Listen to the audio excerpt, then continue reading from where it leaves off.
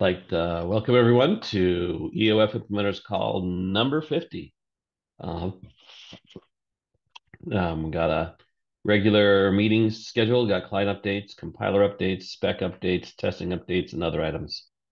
Um, if anyone else wants anything added to the agenda that's not on the agenda, please mention it in chat so I can see it, um, so we can get to it at the appropriate time. First, we'll start with uh, client updates. Uh, Ahmed, uh, can you have any update for Nethermind? Um, yes, not sure if Ayman is here, maybe not, but he's currently, we started again working on uh, refining our implementation and uh, mostly uh, the EIP related to uh, the uh, creation.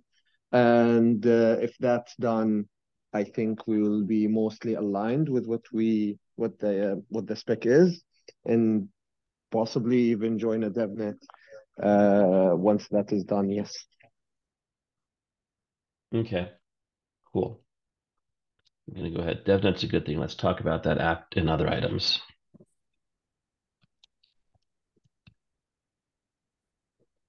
Um, let's see. Bob, are you with the client team or are you just listening?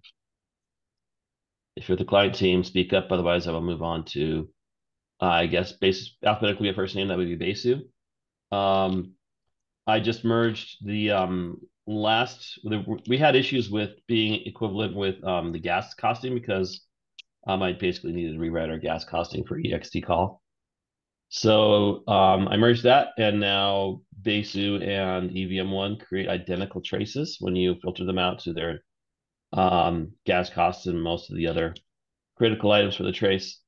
Um, I'm about to merge it into main, into into Ethereum main. Um, it's going to activate on a fork named PragueEOF for mainnet, uh, not for mainnet for like Genesis files, but for reference tests, it still activates on the prog name. So that's uh, what we're going to go for unless we, um, until we hit at least DevNet 2 uh, in Pectra. Um, Let's see. Next on the list would be Dragon Reth updates.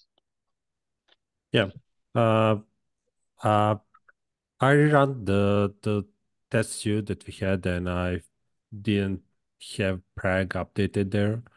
So I had some few, few tests failing that I fixed. I still have tests related to EOF create that I need to fix.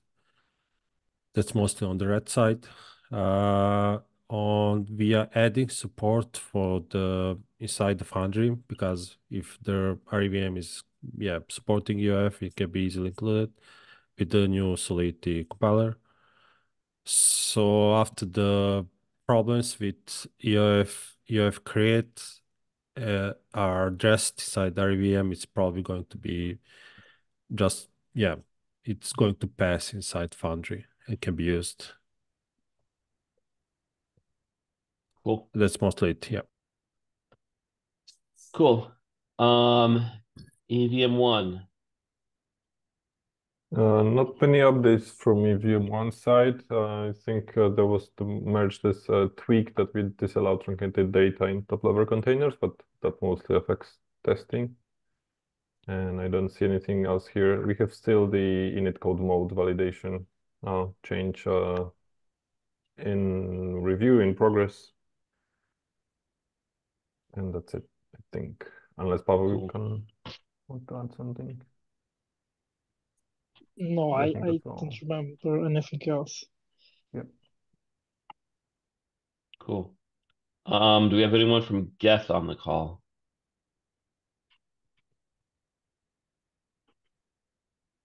Um, anyone from Erigon? Ethereum JS? Okay. Um, any other clients I didn't name? Cool. Um, next item is compiler updates. Uh, Charles, anything from Vyper? No, sorry. I've been uh, really busy with the big release. Okay, that's fine. Um, do we have anyone from Solidity on the call? Okay. Um, the Solidity proof of concept uh, got a few updates this last week. Um, so this is from um, Peter's writing this, or no, it's not Peter. It's uh, Ravada, yeah. Um, yeah. The the big the big difference is um timing wise is also been added to some some of the information. Other than that, it's pretty much the same information as last week. Um, just got a better organization and answering more questions as they come up. Go ahead. Oh, Victor, are you muted? Okay. Um, so that's that's uh any other compiler updates before we go into spec updates?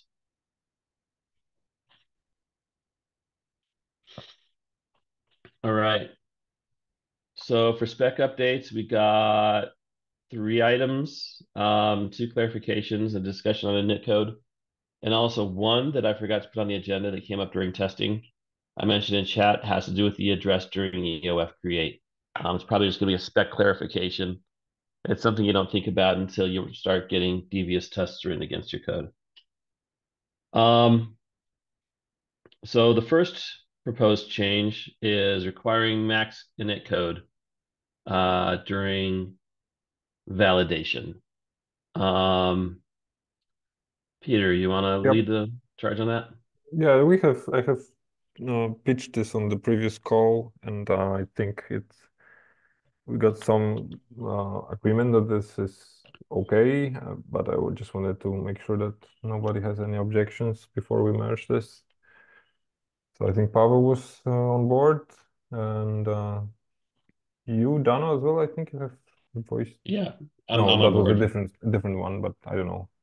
Maybe you're um, okay with this. Then also Solidity said we had we had thoughts whether this limit would not impact Solidity testing, but it uh, we confirmed that it would not. Um, and I think also this popped up in the recent Discord uh, discussion with Marius from that. Mm-hmm. And I think this uh, this PR link was was mentioned there, and he was like, okay with this. I I think uh, no, I I haven't heard any objections. If there are any, please let to know now.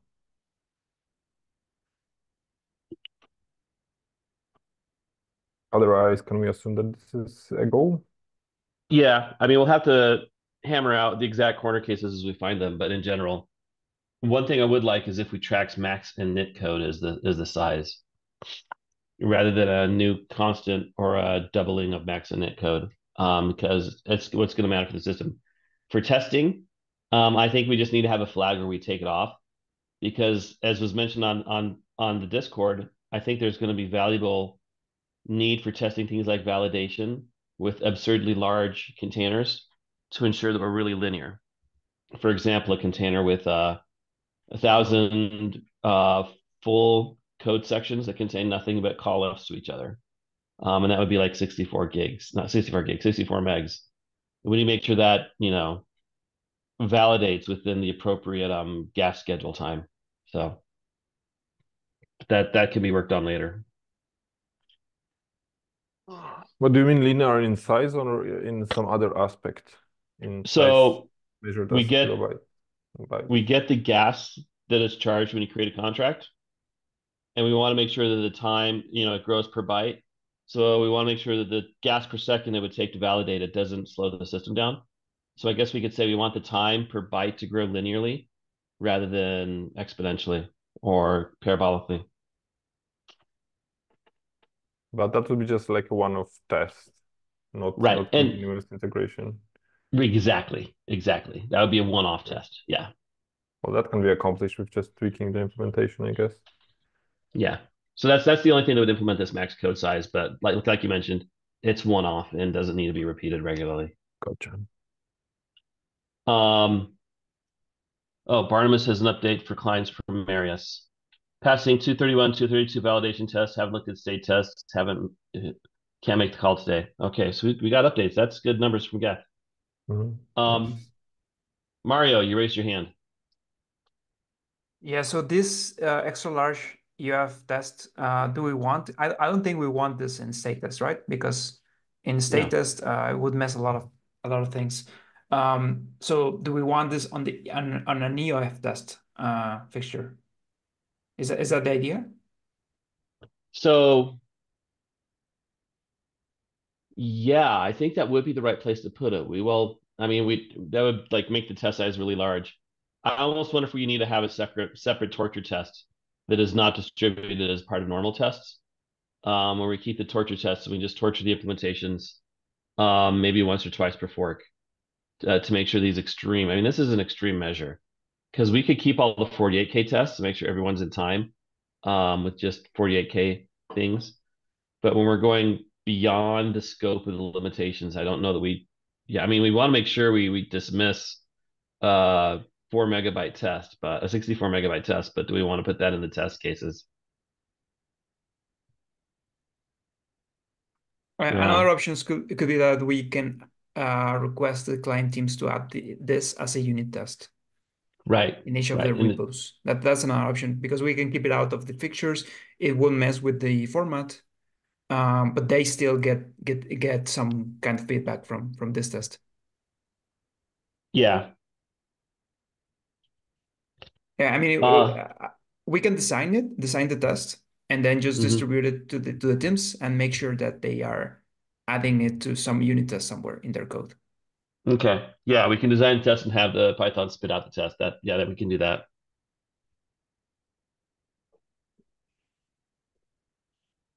Okay.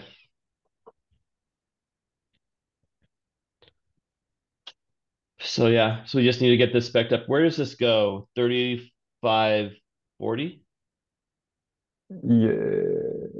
Uh, yes. Yes. Like so the, the, the general code validation goes. Uh, sorry, the general container validation goes into thirty-five forty. Uh, so no, yeah, yeah. forty. Okay. Uh, this um, uh, did that has two sections. One has for general EOF, and the other is for general EOF v1. So it's it's like an editorial decision whether where do we actually put it. Mm. I think EOF v1 is better, but it's just a matter of days, I guess. Doesn't mm, doesn't impact a lot. There's no specs in 7692. Um, I don't know. Can you go back to where you Maybe maybe this mention which you were following was just a coincidence. I don't know.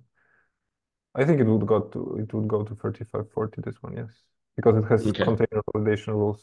Here, oh just just oh there you go. Ah. EOF version one validation rules. So these are sort of separate from code validation rules, which are different to EIP. And I would see that particular rule being added here. Okay. Cool. All right. So we'll get that spec updated. Um. Next is there's a minor update on RJUMPs and successors for um, bin creation targets. Oh yeah, this is this is here. This, this is, is my spec item. I think.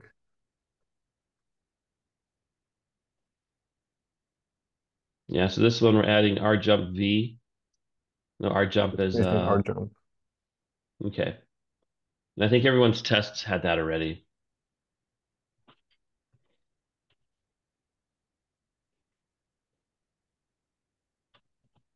Yeah. I think this was just clarification that Marius yeah. stumbled on. Yeah. Yep. Yeah. So that's a good one. And the next the one. Will, oh. uh, right. Right. This is this is not contentious. Right. So um basically if you're in the middle of doing an EOF create either from a create transaction or an EOF create operation, if you call out to a legacy contract and they call out to the address of the contract that is in process of being created, um, it will come back as an empty account. Um, and I think that's just, you know, there's, we can't, it's not EOF until it's been validated. So we can't say it's EOF. And just like legacy, there's no code that exists. So we'll just do the existing code behavior for legacy that if you try and um, introspect the code mid creation, you get nothing. and that for most implementations should be a no op, but it's worth encoding and enshrining in the spec.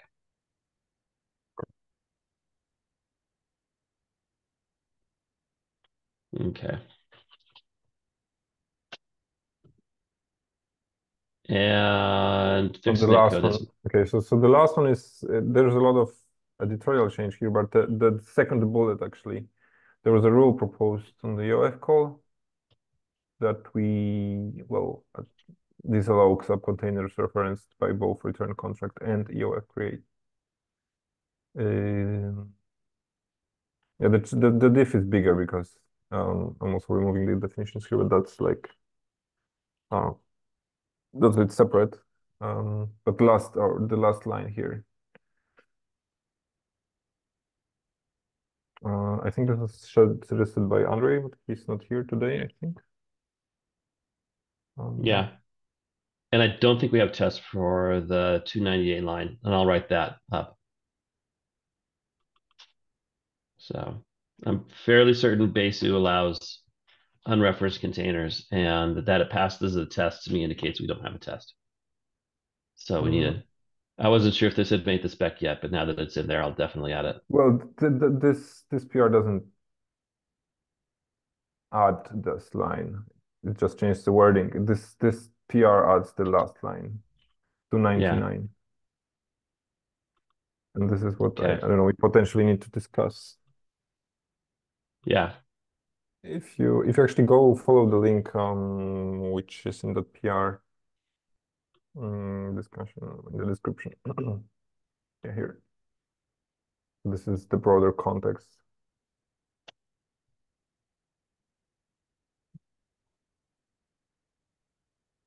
So would we ban revert invalid onlys or not really? Like option one is banning revert invalids. Okay, option, option two, two would allow weaker. those, and you would still have to. Okay, we yeah, just but, enforce it. Yeah, yeah. Calling you, you cannot. Yeah, you can. You can have such a container, but you cannot reference it in both EOF create and return contract. Okay. Which I think has practical um, benefits.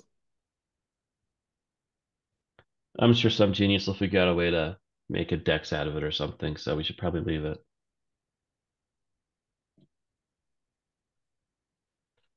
Okay. Anyone have commentary on this, or should we go ahead and add it?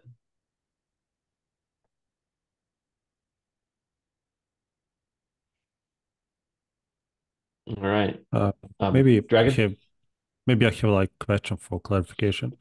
Mm-hmm. Uh, this adds additional validation, basically validation on if the container contains only stop return return contract, or it does or it does contain only return contract.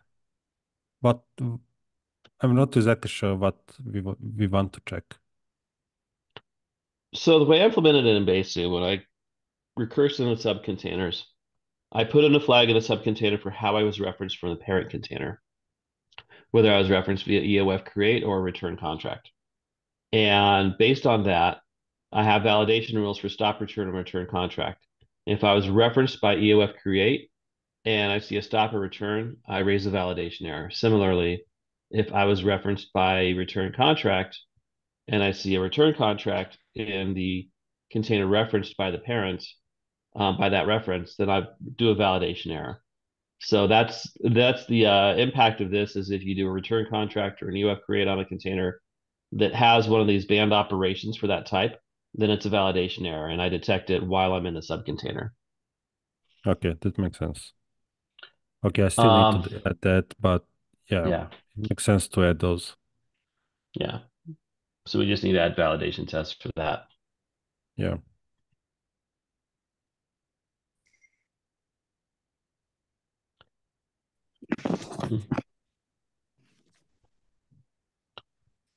All right.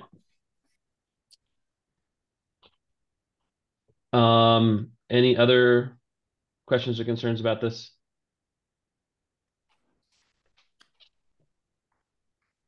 Okay.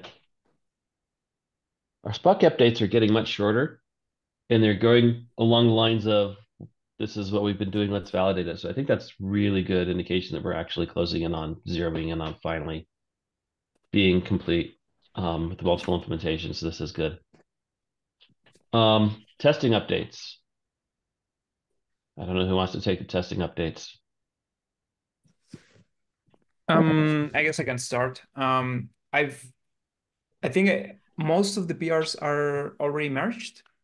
Um, there are some couple of outstanding ones, but please check if there are review comments that need to be sorted out. Uh, I think mostly most of the comments are regarding duplicated tests. So we have this uh, legacy containers.py, which I created like more than a year ago.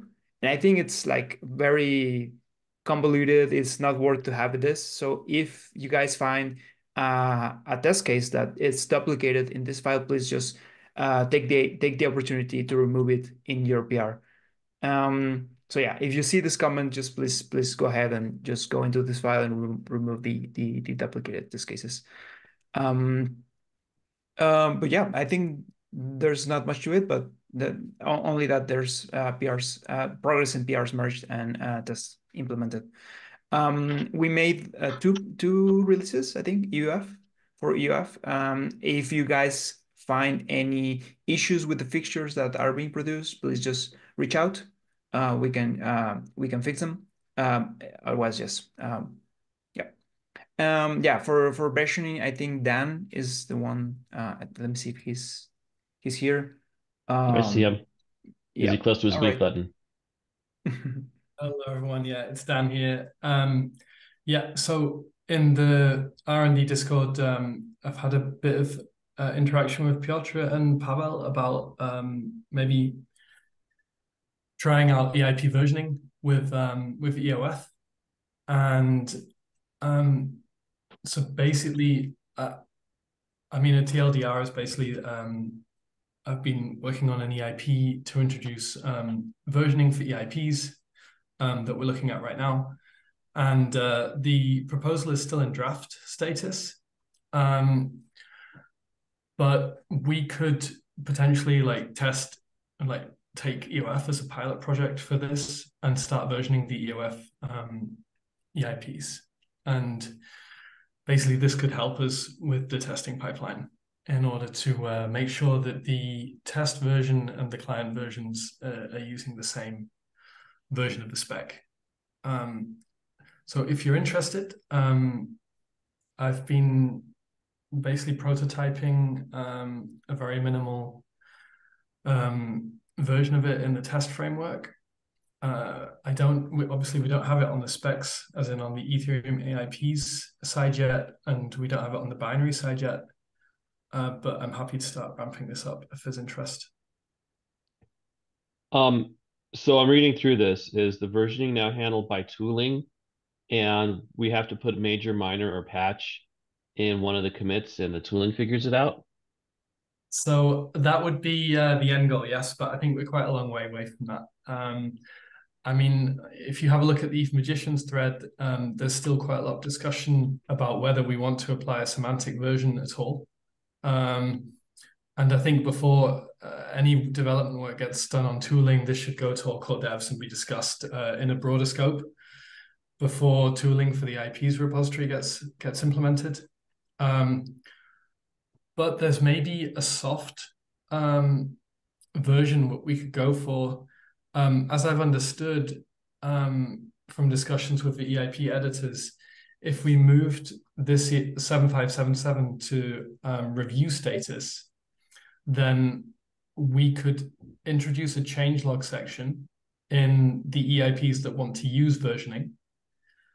And as long as we um, add 7577 to the requires uh, preamble of the EIP that wants to use it. Uh, so we could exactly we could start adding a section uh, as Dano is showing here, um, and assuming it's ordered, which I'm sure it would be, um, we could make some tooling uh, to to pass the, the the first version list in the change log, change log and, and use that as a spec version. Um, from the client side, what it needs is basically any binary that um, that touches testing. So anything that gives us a result, like the transition tool or the EOF pass tool, um, should get a new flag um, minus minus EOF minus versions that would give us a JSON um, with a lookup of uh, EIPs and their respective version that are implemented in that binary. Do we have a prototype of what that JSON file should be? It there is a let me just see if I've got the link in there. Um, there is a this Discord discussion. Um, and I think uh, I did add a version at the top. Uh, I can add it somewhere else if it's a bit lost in Discord here. I think you'd have to scroll up to find the JSON version. Um, that's that's the post from today. Um, so something like this. Um, so I mean, this is this is one of the big questions about the proposal is whether um, that's an acceptable amount of work for client teams to maintain in their implementations. But basically, every binary that implements an EIP would have, would, in order for this to be useful, would have to um, provide uh, the testing framework with this output so that we could then compare the the client implementation version with the testing version and with the version that we would pass from the changelog in Ethereum EIPs.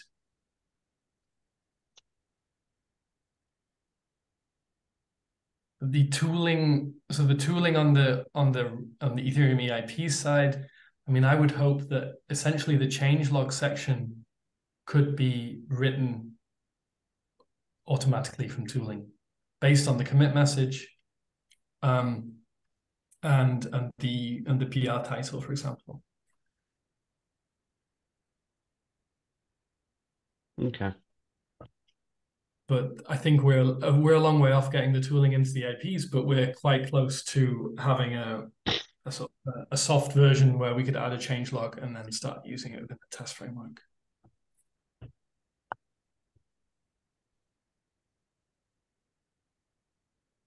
Okay. See what I can draft up this week. Um, I should I should let you know that I'm going to be away um, out of office for for like basically the next uh, two months. So if I mean I'm very happy to make a push today and tomorrow and Friday. No, um, not today, tomorrow, Friday. Now we can yeah, come back to this in two months. Okay. I mean, failing that, Mario said he'd be happy to pick up the work on the test framework side, and um, although I'll be away, I'll be following uh, progress on 7577. Okay. I would um I would still try to get things uh, ready on our side before I leave, um, in the to a state that Mario could take over. Cool. That sounds good. All right. Thanks. Any other test updates or anyone else have any commentary on testing status? regarding the versioning, uh, you can do fix or feat or feat with an exclamation mark in order to bump specific versions if it's just a fix or a feature or a breaking change which requires a major update. So this definitely could be automated by a commit. Okay. Yeah, exactly. That's that's the basic idea. Yeah.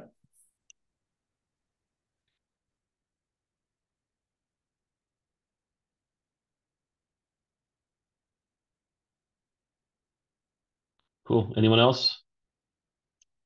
One last topic on the agenda. There was a late ad that I put in there.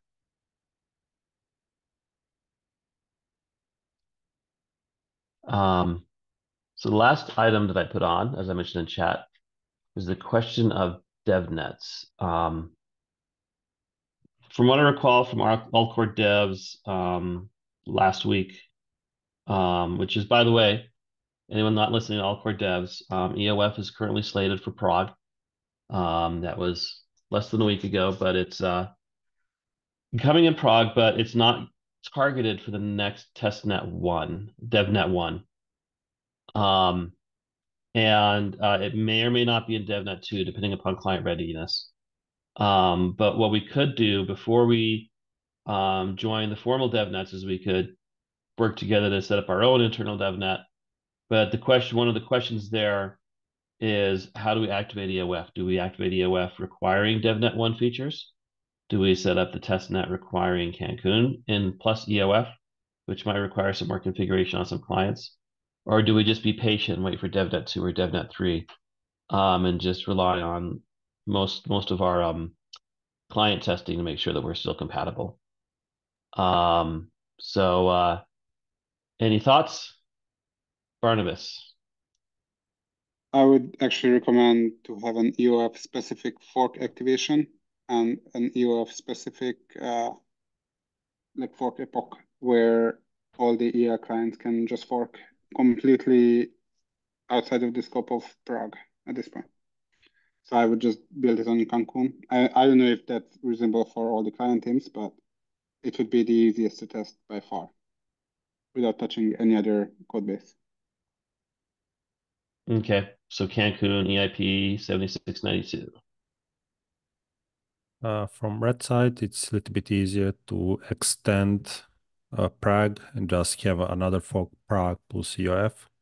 That's easier solution because we need we don't have like features. We have like level where the fork is enabled. We cannot pre uh, basically disable previous fork.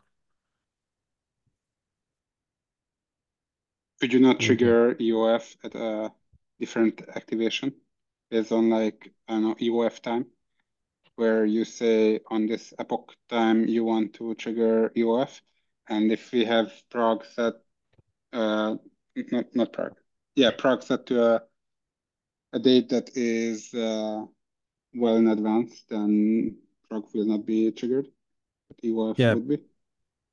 It it could be done a little bit hackily, but uh, it's like if the Prague indent format to get activated, it means and even EOF is get activated. We can add like code features that going to say disable that like build, but yeah, it can be done. Um, how does Nethermind approach forking? Did we lost Nethermind? No, we haven't.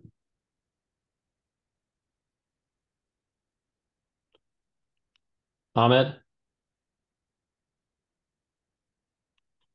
He must be away from his pause button. Um, I know for Besu, we also have a similar issue that that uh, Reth has. All of our forks um, are very combined together. It's every all everything or nothing. So in each fork, so it builds off of a previous fork. So um, I have written in Besu code to support both, but I basically had to write two different forks: a Cancun EOF 7269 and a Prague EOF fork. So um, that's the work it would take on Besu is we just basically would need to make two separate forks, succeeding Cancun or succeeding Prague. And if we want to activate Prague, it's it gets kind of kind of weird, but I was able to figure it out. We don't have um we don't support the feature Geth proposed years ago, which is fork plus a bunch of EIPs, because we don't activate EIPs individually per se. Um, I wish we had Geth on so Geth could speak to their forking per process. Nethermind does uh, activation per EIP. I Okay. that. So I'm not sure if they would do that for EOF as well, but uh, previously that's what they done, and all of their Genesis file has to include uh, EIP specific activation time. Okay. Geth does it based on just a single whatever like Prague time, Mhm. but I, I don't know if they did that for EOF yet. Um, I could try and pick apart uh Marius's fork, but I don't know how easy it would be to swap between the two. Um, I mean, it got easier this last week when 3074 got removed. So that did simplify it a bit. So there's no opcode level changes coming in right now before EOF. um, all of the changes all around the transaction processing and the withdrawals and stuff like that. Um, so it did get a little easier. I was able to factor it out. Only changes Um, related to precompiles, BLST. Oh, right. We added Yeah. precompiles. That's the change. That's the big change. It's one line to one test that I always forget until the last moment. So yeah, that's makes sense.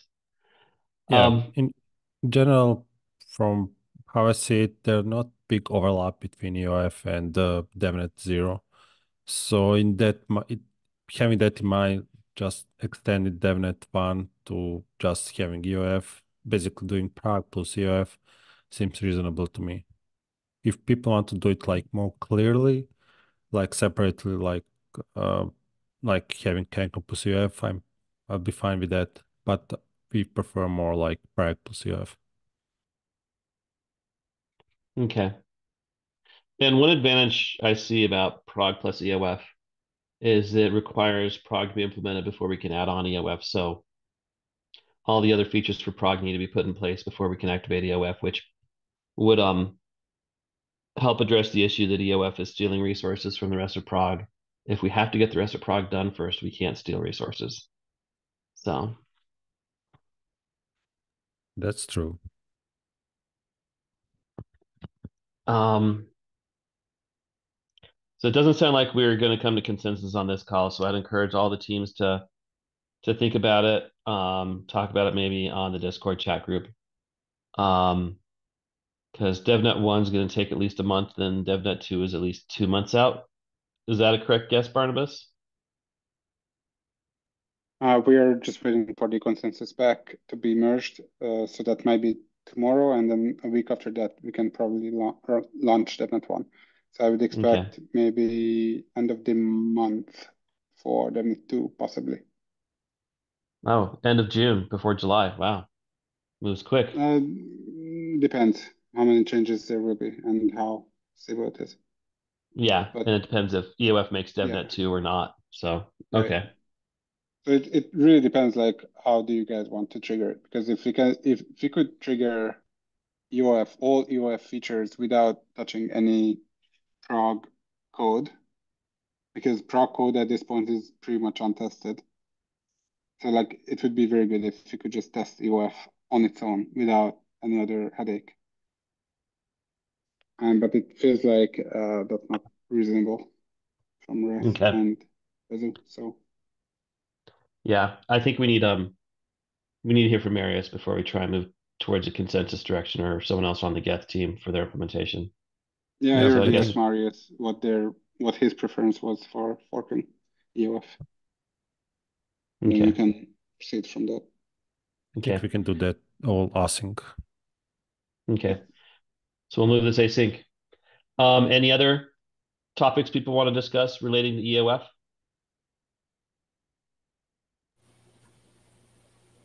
Um, I posted in the chat, but um, I think that we should visit the gas schedule uh, because, uh, according to the Solidity POC article, there's like a somewhat large mismatch now. I think um, because jumpdest analysis is already like uh, you don't need to do it anymore.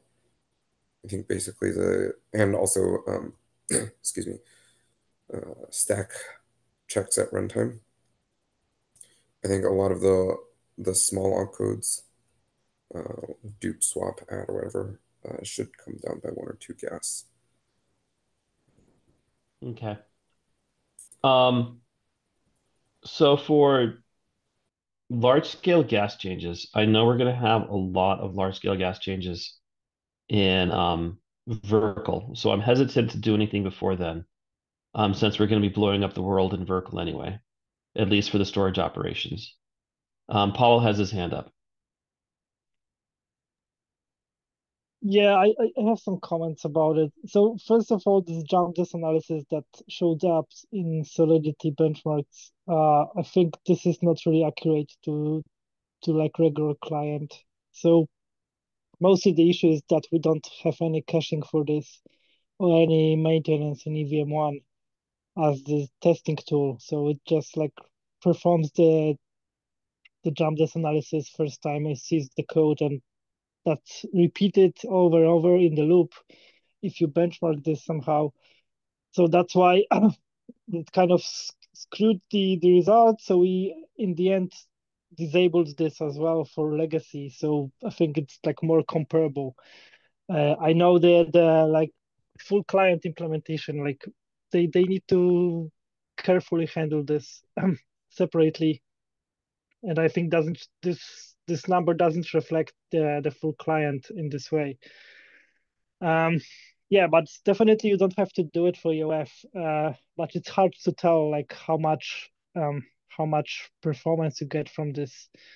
Um, like for Erigon, I, I currently try to rework code for that, and the this analysis is like almost zero percent of overall execution time because it's just cached by, yeah, that's like for like five five five thousand recently used accounts, and it's kind of it's kind of close to zero. Um, so yeah, so mostly we just disable that to have more comparable results. Um, secondly, I think the gas the gas drops with EOF, the solidity compiled to EOF, but also the the execution time drops more or less comparable amount. So I think this actually it means the gas is actually accurate before and after.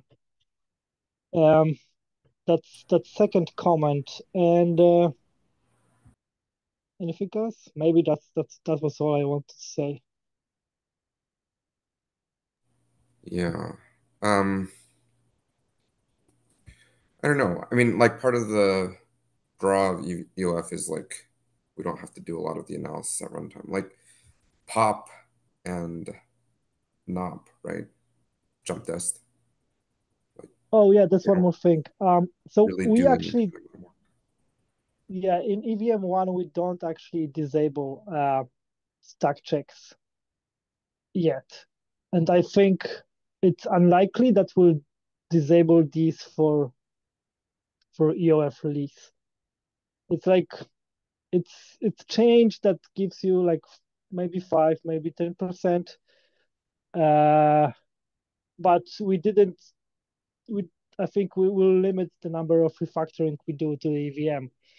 Um, I think partly because EOF was in evmone for like two years, and yeah, I I think at this point it doesn't really make sense to kind of write it again. Uh, uh, probably some sometime later, yeah, definitely. But I think it's it's a bit too risky to do it right now.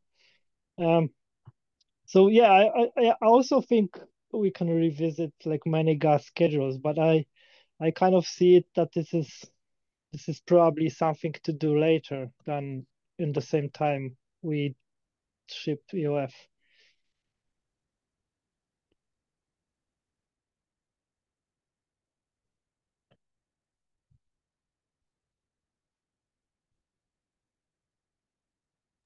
I think uh, in a theoretical future where there's like native compilation, uh, uh, the calculus is all different. So gas is not just a direct measure of time spent computing. It's also, I mean, we get to the multidimensional gas. Sometimes it's used to pay for storage long term. Um, it's also going to be used um, in Verkle to pay for data that you add to the witness, not necessarily computation time.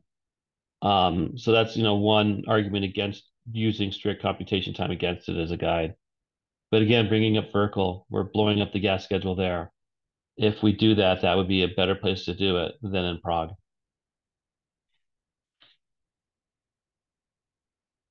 Okay. Yeah, I just thought it should be kind of revisited.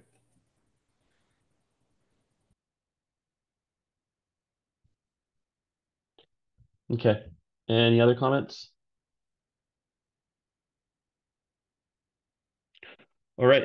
I'll give everyone 11 minutes back. Thank you for calling in today. We're getting some great progress done. Thank Congrats you. on including EOF side Prague. Yep. Thanks, bye. Bye. Bye. Thanks, everyone.